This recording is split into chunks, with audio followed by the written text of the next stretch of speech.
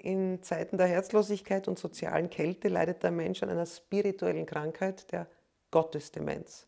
Ich frage Sie, ist diese Krankheit heilbar und wenn ja, wie? Nur durch Reflexion.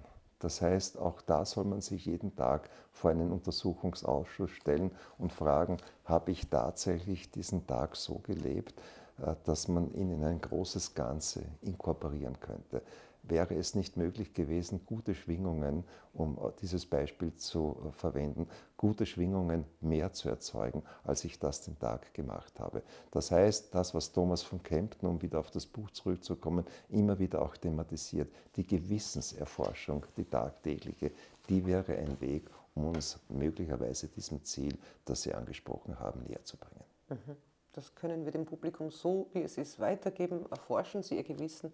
Herr Professor Huber, ich danke vielmals für das Gespräch. Auch ich danke Ihnen.